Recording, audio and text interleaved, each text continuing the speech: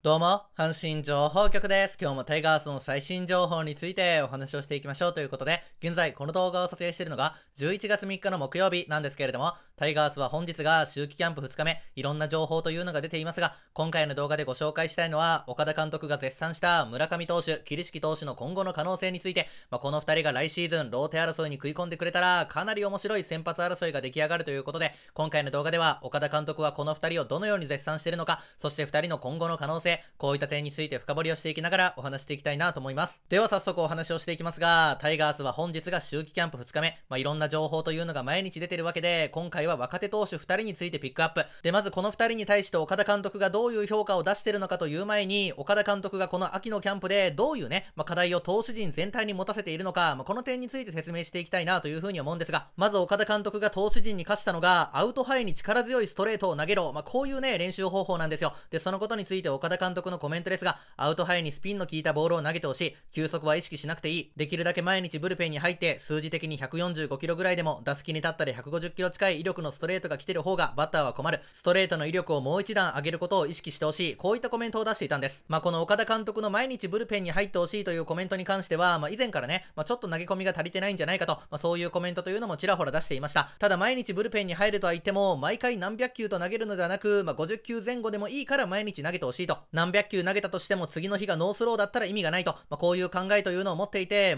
最も力が入るコースに思いっきり腕を振って基礎能力を伸ばしてほしい。まあ、こういう思いというのを持ってるんです。まあ、この考え方に関しては個人的に理にかなってるなと言いますか、まあ、低めのストレートというところに関してはね、まあ、どのピッチャーも練習するところではあるんですが、この秋のキャンプの段階だからこそ、やはりこの秋のキャンプが終わったらオフに入る、まあ、そういう流れというのがありますからね、まあ、力が残ってる中で、まあ、しっかり高めにね、力強いボールを投げていくと、まあ、そういう指令というのを現在岡田監督は課してると。で、この岡田監督のプランに対して即座に反応したのが藤川球児さん。まあ、藤川さんといえば皆さんご存知の通り、もう高めのストレートを投げさせたらプロ野球界トップレベルと、まあ、そういう素晴らしいストレートを持ってるピッチャーなんですが、藤川さんはこの高めのストレートの投げ込み理論について、過度に投げ上げないようにさえ注意すれば、外角高めや腕をきれいに振りやすいコース、また低めに投げようとすると腕のしなりが強くなって、指先や肘に負担がかかるけど、高めはリリースの瞬間が早い分、ボールを指先まで持つ時間が短い。投げ込んでも故障のリスクは軽減されるし、個人のレベルアップを求める時期のメニューとしては適してると、まあ、こういうコメントを出したんです。いやもうこのコメント聞いてるとプロにしかわからない理論というのがあるんだなと感じますよね。で、確かに藤川さんの口からこういう説明をもらうと、確かにと、まあ、我々ファンとしても感じる部分はあります。まあ確かに低めと高めの投げ込みの違いというのを考えていくと、まあ感覚的にもね、まあ結構疲労度は違ってくるかなという風にも感じますし、で、その高めのストレートの球威というのが磨かれていくと、その分低めへの変化球というのも生きてきますからね。まあ去年から今シーズンにかけて青柳投手がね、高めのストレートを投げてバッターから三振取ると、まあそういうシーンというのもありましたし、タイガースの最強投手陣がさらに成長していくためには、この高めのストレートの力強さっていうね、こういうところも求められていくんじゃないかなということで、まあ特にこの秋季キャンプは若いピッチャーが集まっていますから、岡田監督がどういうピッチャーに目をかけて、どういうコメントを出していくのか、これはかなり注目されていました。で、そういった中、岡田監督が目をかけてる存在として出てきたのが、村上投手と桐敷投手、この二人なんですね。村上投手は来シーズンが3年目、で、桐敷投手は2年目と、まだまだ若いピッチャーではありますが、まず村上投手について、もう村上投手に関しては皆さんご存知の通り、もうタイガースの2軍ではやることなしと言いますか、もう本当にズバ抜けた成績というのを残してきました。で、まずは昨シーズン1年目、まあ、ルーキーイヤーの村上投手は、ウエスタンで17試合投げて10勝1敗、防御率が2.23、そして勝率が9割0分9厘あったということで、最多勝、最優秀防御率、最高勝率、この3冠に輝いたと。で、迎えた今シーズン2年目も17試合に登板して、防御率が3.09、7勝3敗、勝率が7割、74奪三振ということで、今年も最優秀防御率、最高勝率、最多奪三振、この投手3冠ということで、もう2年連続でね、まあ、ウエスタン投手3冠ということで、もう村上投手は2軍でやることないですよ。もう村上投手の生命線というのはやはりコントロール。まあ、球速がね、150キロ以上バンバン出るというタイプのピッチャーではありませんから、まあ、ストレートをしっかり丁寧に投げ分けていきながら、村上投手の武器であるスローカーブであったり、まあ、そういう変化球を活かしていく。ですので冒頭で岡田監督の高めへのストレートというね、まあ、理論というのもご紹介させていただきましたが、村上投手が高めにストレートを力強くボンと投げることができれば、よりね、村上投手の魅力というのが出てくるんじゃないかなというふうにも感じてます。ですので村上投手の今今後の課題というのは、もう1軍で投げて結果を出すだけ、もうここなんですよ。まあ、1軍でしっかりね、一度勝つことができれば、自信がついて、まあ、村上投手の流れも変わってくるかなというところなんですが、去年は1軍で2試合登板して、0勝1敗、防御率が16.88ということで、思ったようなピッチングをすることができなかったと。ただ間違いなく2年間しっかり2軍で結果を出してるピッチャーですから、来シーズン3年目、なんとか1軍で投げたいところ。で、岡田監督はこの村上投手への評価について、村上なんかは1軍の経験少ないらしいけど、ファームである程度成績残せるっていうのは、そのぐらいボールに力はあるよな。な。これから何か使いようはあるかもわからんな。もったいないわなと、こういうコメントを出しているんです。さあ、この岡田監督のコメントを見てもわかる通り、間違いなく村上投手は期待されていますよ。だからこそね、もう2軍での数字というのは抜群なものがあるからこそ、この秋季キャンプであったり、来年春のキャンプ、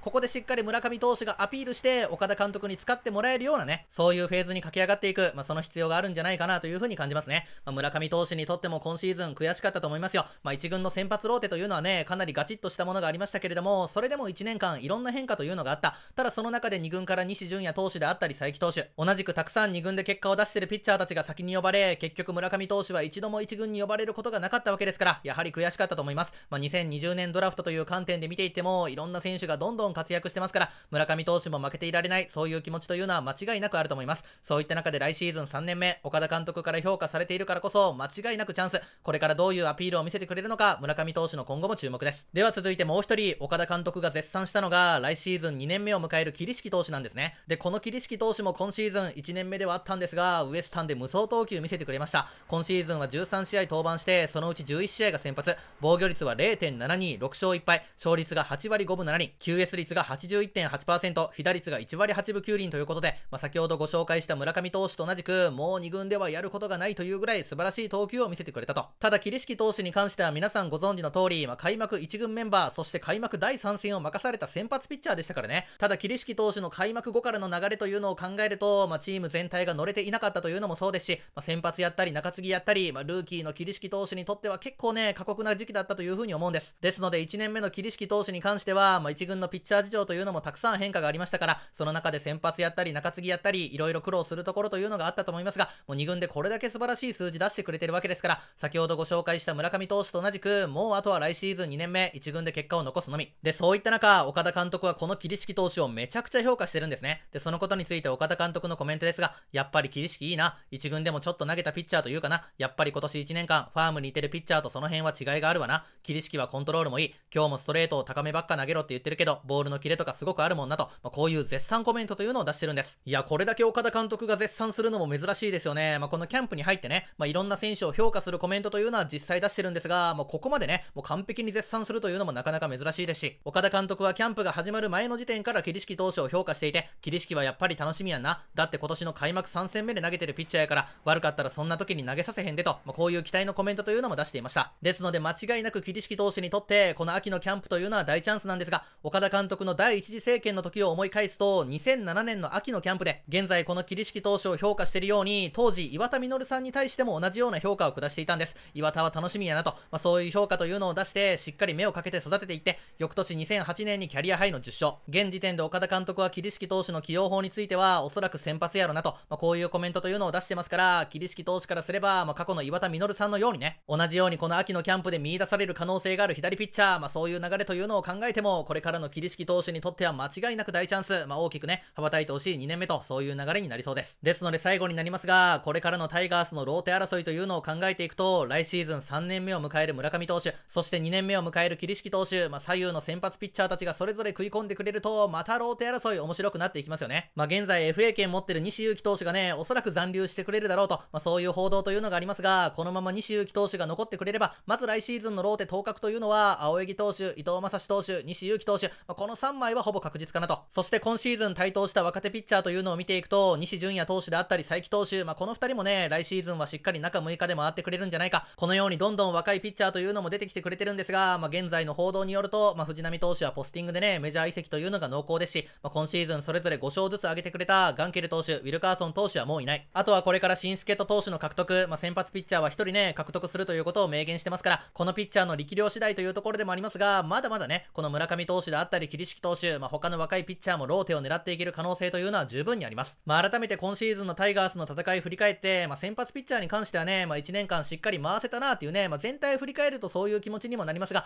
ポイントポイントで見ていくと、結構先発ピッチャーカツカツだなっていうね、ねまあ、そういうタイミングというのも実際ありましたから。ですので、右ピッチャーでも左ピッチャーでも先発ができる投手がたくさんいるというのは、1年間戦う中で大きな材料になりますから、そういった中、この秋季キャンプで期待の声をかけられている村上投手、桐敷投手、この2人が来シーズンに向けてどういうアピール見せてくれるのか、今後の動きも注目しながら見ていきたいなと思います。はい、ということで、今回の動画では、この秋のキャンプで岡田監督が絶賛している2人へのコメントについて、そして村上投手、桐敷投手の今後について思うこと、こういった点についてご紹介されていただきました。まあ、タイガースの投手陣に関してしては、来シーズンもおそらく先発中継ぎ両方ね、トップレベルでやってくれるでしょう。ただその中でどんどん若いピッチャーが出てきてくれると、さらにね、チーム内競争というのは激しくなる。これから助っ人投手の名前というのも上がってくると思いますが、まあ、投手陣に関しては間違いなくね、もう12球団トップレベルのものがありますから、そういった中で村上投手と桐敷投手、この2人が来シーズンローテ争いに食い込んでくれるのか、この点も注目しながら見ていきましょう。皆さんは来シーズンの村上投手、桐敷投手についてどのように考えますでしょうかよかったら皆さんのご意見というのもお聞かせいただけると嬉しいです。ということで以上、今回の動画が皆さんの参考になれば非常に嬉しいです。この動画が面白かった、ためになったと思っていただけた方は、よかったらチャンネル登録、グッドボタン押していただけると嬉しいです。